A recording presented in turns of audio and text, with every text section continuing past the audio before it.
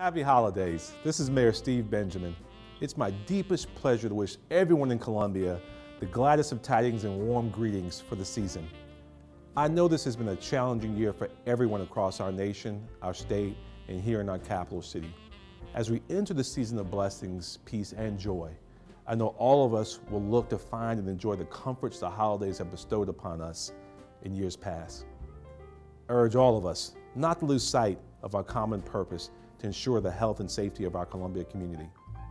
We can and will enter the new year with the hope there will be a brighter dawn and a time which is close at hand we can think about fully gathering together and embracing each other again.